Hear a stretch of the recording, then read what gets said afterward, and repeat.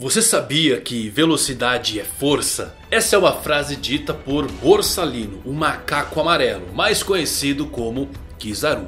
Um dos almirantes mais engraçados e também poderosos da marinha. Inclusive, dado o alcance de sua Akuma no Mi, alguns até contestam que a fruta mais ofensiva não seria a de Akainu e sim a dele. Porém, o quão poderoso é Kizaru? Mais ainda, como é o despertar da Logia da Luz? Quer saber tudo sobre uma das maiores forças da natureza?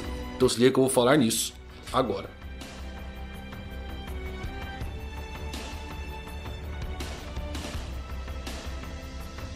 Fala galera, eu vou Fusari com mais um vídeo pra vocês, como é que vocês estão? Espero que todos vocês estejam maravilhosamente bem, trazendo um vídeo muito legal de Kizaru Um dos almirantes mais legais de toda a série, com aquele jeitão dele sempre calmo E com uma das frutas mais insanas de poderosas mas como é o despertar de uma logia? Tem alguma dica já deixado na obra? É somente aquela coisa de Punk Hazard ou tem algo a mais?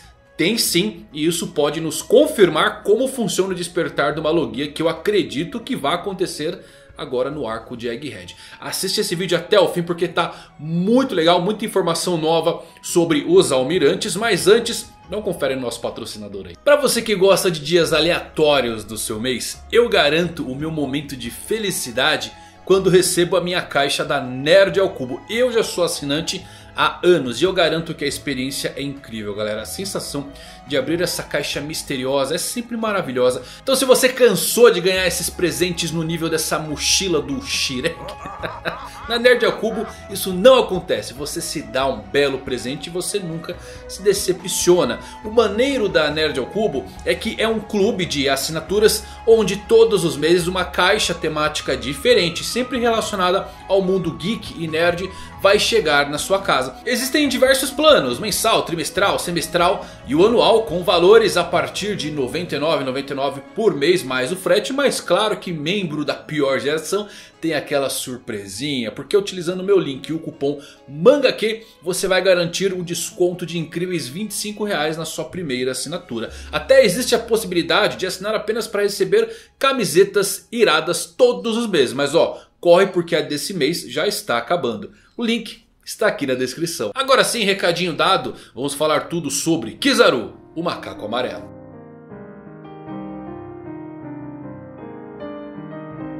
Kizaru é com certeza um dos almirantes que todo fã quer ver em ação com força total. Seus poderes e a forma engraçada em como ele lida com as situações junto do seu carisma o torna um personagem difícil de ser taxado como um vilão ou mesmo uma pessoa ruim. Borsalino Kizaru tem atualmente 56 anos de idade. O que muitos não sabem é que ele entrou na marinha junto com Akainu quando ele tinha 26 anos. E um detalhe é que quando ambos entraram na marinha já eram considerados monstros. Atualmente almirante da marinha, seu nome surgiu ao lado de Aokiji e Akainu como sendo a maior força do governo mundial. E atualmente Kizaru é um dos únicos remanescentes dos almirantes originais. Akainu virou almirante de frota, o cargo mais administrativo.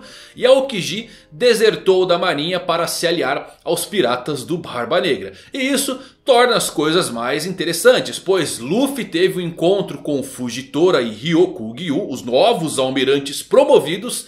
Em ambos os casos Luffy simplesmente encarou com naturalidade a presença dessas lendas. Mas em Egghead, ao que parece, Borsalino se tornou a primeira pessoa a fazer Luffy suar frio com sua presença. O que pode ser uma dica de que ele está acima dos novos almirantes, pelo menos em questão de força. O que é insano quando olhamos os poderes da gravidade de Isho. Ou mesmo Aramaki derrotando Queen, King e ainda capturando Edward Weevil, o filho do Barba Branca. Bom, eu sempre vi Kizaru como sendo um personagem pouco falado e comentado nos fãs de forma geral, mas com um potencial de ser uma das maiores forças do mundo. Sabemos que o Kizaru ele tem hack de armamento avançado, inclusive foi a primeira vez que presenciamos isso quando ele junto de Aokiji e Akainu pararam um ataque do Barba Branca e Marineford se valendo desse poder. Ele também pode se movimentar na velocidade da luz e tem um poder de ataque de alto nível conforme sugerido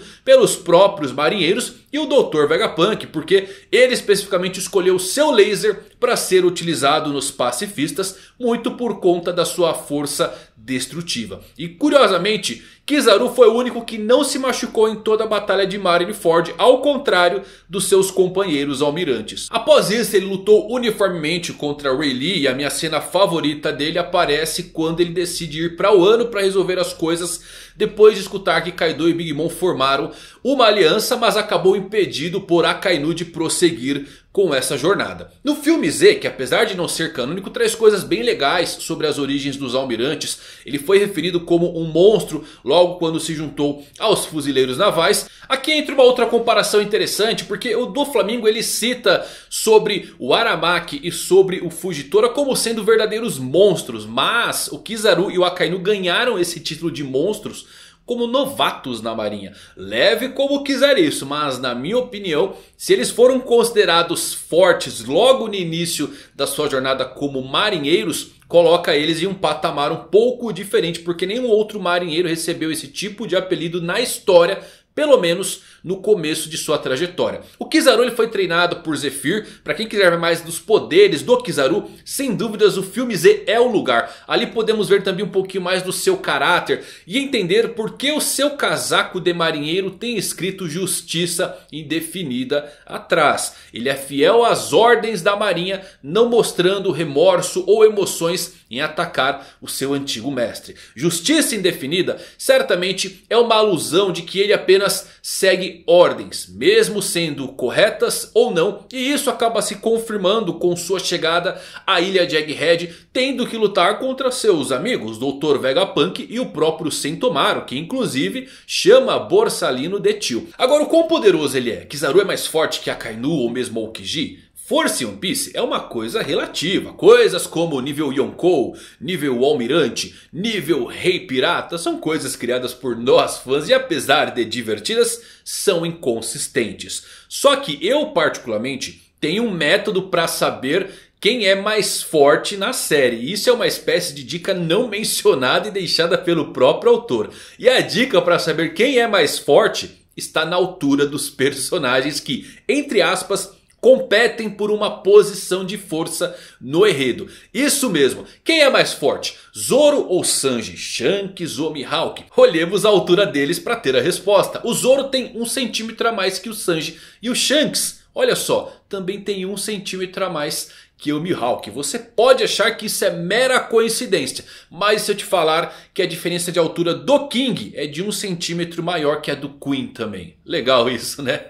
Já para os almirantes temos algo parecido. Há uma diferença de 4 centímetros para cada um deles e Kizaru está no meio. Ele é mais forte que Aokiji mas fica abaixo de Akainu. Além de Kizaru estar entre Aokiji e Akainu com base na altura. Sua ordem de introdução na série também seguiu esse mesmo mesmo ritmo. Apesar de interessante, não leve esses números tão a sério assim, porque basicamente se pegarmos os três almirantes originais, eles são praticamente iguais em termos de força. Temos o Aokiji lutando 10 dias contra o Akainu e nem sabemos como ele foi derrotado. E a sua fruta ainda era para ser até mais fraca que a do Akainu. Então use como uma estimativa de posicionamento. E como Oda rotulou o Kizaru como justiça indefinida, parece que o Borsalino também fica em algum lugar no meio de Kuzan e Sakazuki em termos de justiça. Porque ele não é tão tolerante quanto Kuzan quando se trata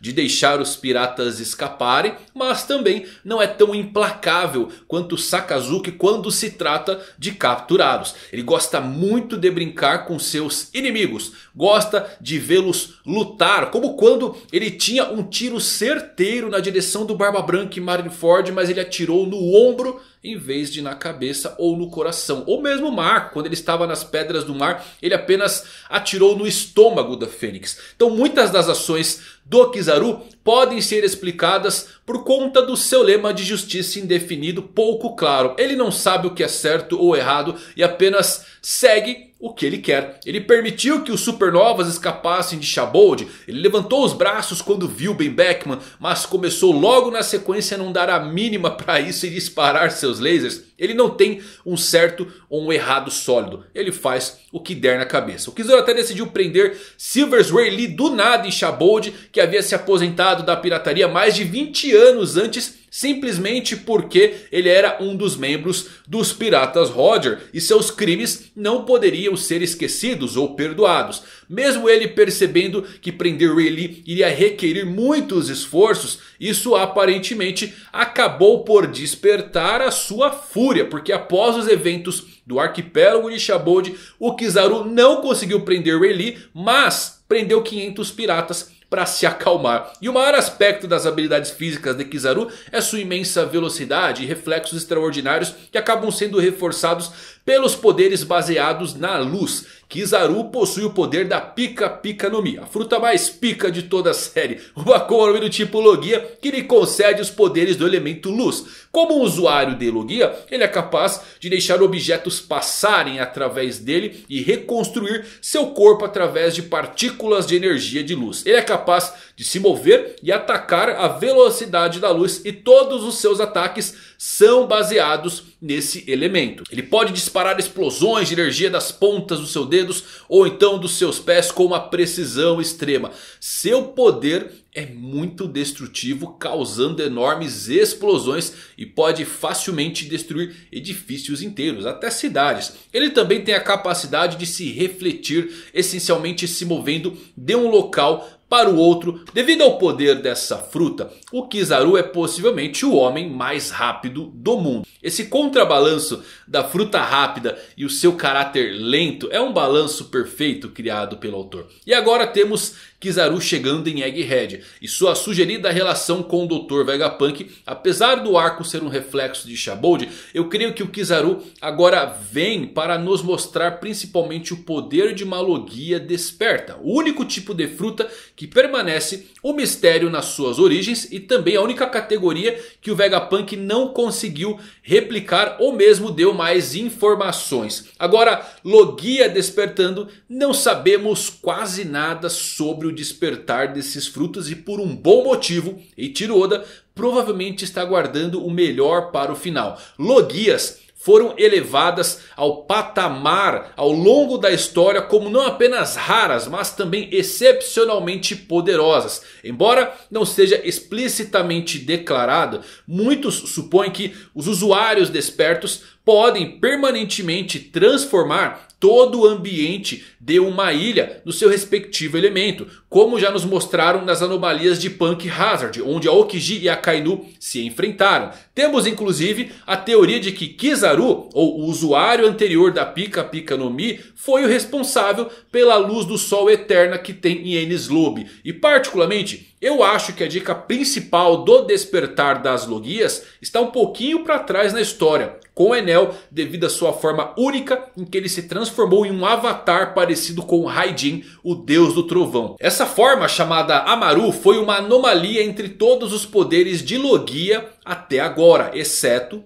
por Green Bull, que para mim nos deu mais força nessa teoria. O almirante Aramaki da fruta da planta se transforma em um avatar elementar, se tornando literalmente uma floresta ambulante. Enquanto outros logias mantêm principalmente o seu aspecto mais humano, Aramaki, assim como Enel, se tornaram avatares do seu elemento. Portanto, com esse conhecimento dos despertares anteriores, eu acredito que o despertar da Logia transforma totalmente o usuário em um ser divino que incorpora o seu elemento da fruta. Apenas uma enorme força da natureza cujo poder é tão avassalador ao ponto de tudo ao seu redor ser engolfado na sua presença. Isso poderia inclusive explicar por que os almirantes têm que ser tão reservados com os seus poderes de frutas. Já que eles podem facilmente causar danos colaterais e massacrar vidas inocentes. Já em relação ao despertar da fruta de Kizaru especificamente, eu creio que ele pode se tornar algo muito semelhante à forma Amaru de Enel, já que raios e luz são intangíveis, portanto mais difíceis de se representar em seu estado bruto. Sabemos que Skypiea foi escrito por Eiichiro Oda quando ele pensou que teria que fazer esse arco perto do fim da sua história. Então isto poderia ter sido uma dica principal sobre desafiar também os falsos deuses que são os usuários de fruta Logia. Logias eram aparentemente divinos no início da história e considerado impossíveis de se derrotar. A vontade dos D é inimiga de Deus. Então acho que isso faria muito sentido temático. Um avatar dos elementos. Uma divindade perante aos olhos das pessoas. E o inimigo jurado de Deus. É uma combinação perfeita para a trama. Kizaru é um dos personagens mais incríveis criados por Oda. Do trio monstro da marinha que fazia parte no início da série. Quando a Okiji ainda era um almirante. Podemos ver também esse balanceamento nos três poderes. A Okiji Kiji é bom, Kizaru é neutro, Akainu é mal. Nesse ponto, Aramaki é mal, Eisho é bom, mas Kizaru continua no mesmo lugar. A neutralidade de Kizaru não o impede de ser fiel à justiça e à marinha. Sua justiça é incerta, mas não as suas decisões. Ele preferencialmente busca missões rápidas e mais relaxantes, mas não vê perigo real em ninguém até agora. Seja você um rei das trevas, uma lenda viva ou imperador. Afinal, velocidade é força. Você já foi chutado na velocidade da luz? Muito legal né galera? Eu acho que o Despertar da Logia vai ser essa representação do avatar do elemento. Faz bastante sentido. Somente uma alteração de ambiente permanente não sei, né? As frutas já são poderosas por si só. Funciona bem melhor isso com as paramécias. Porque tem umas frutas que nem sempre transformam as coisas na sua propriedade. Como a fruta do Luffy mesmo funcionou muito bem. Mas para as logias, trazer essa coisa de um avatar do elemento e uma divindade cai perfeitamente. Vegapunk não deu informações sobre as logias. Luffy é o inimigo jurado dos deuses. E não temos nenhuma logia na tripulação do Luffy, né? Curioso. Muito legal isso daí. Espero que vocês tenham gostado desse vídeo. E se tem alguma teoria sobre o despertar da Logia diferente dessa, coloca aqui nos comentários. E é isso, até a próxima. Valeu por assistir. Fui.